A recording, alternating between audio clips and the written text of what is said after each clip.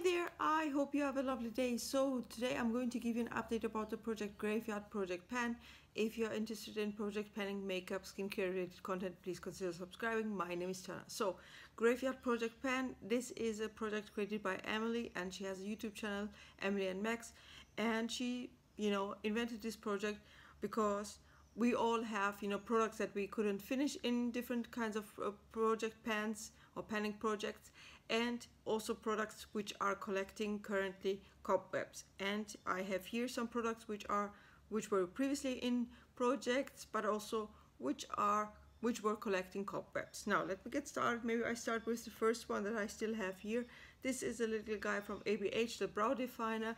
I wanted to use it up very quickly but I still have also other you know brow pens in other projects so therefore this it has not been finished yet but I hope to finish it within the coming weeks and then roll it out of this project because uh, this was collecting cobwebs for a long time or no no I had it previously in another project. See I'm also confusing now myself.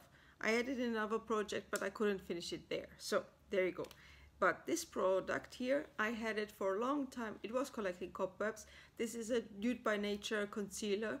And I used this one so far 34 times and it's still going strong. It's just a small sample size uh, you know thing 5.9 ml but it still goes strong. So this one is still in the project. Then I have here this little guy. This is a powder from Maybelline the matte maker I've not used this one so much so far so I believe it is still around 22 grams I need to weigh it again but I because I didn't make so much you know use of it I don't think that I'm, you know, used so much or it's worth to weigh it actually. Then I have here this little guy from The Ordinary, the alpha lipoic acid 5%. I've used it according to my notes 15 times, but it is still full.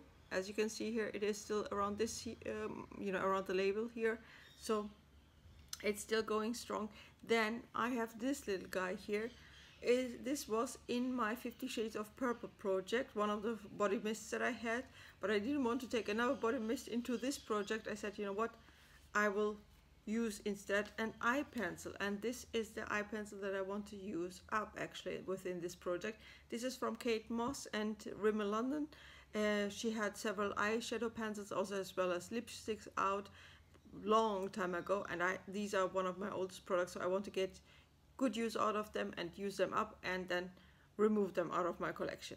So I hope you enjoyed this little update. I see you in the next video. Have a good day. Bye bye.